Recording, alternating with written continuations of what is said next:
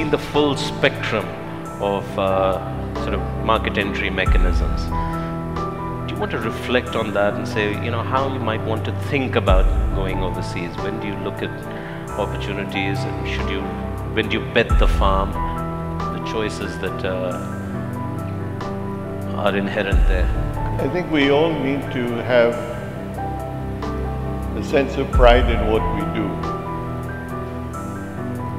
The good thing about uh, going overseas, either with through an acquisition or through yourself, is that it, it gives you the opportunity to compete in a more competitive marketplace. Uh, one may think, why would you want to be with in the UK with a car company?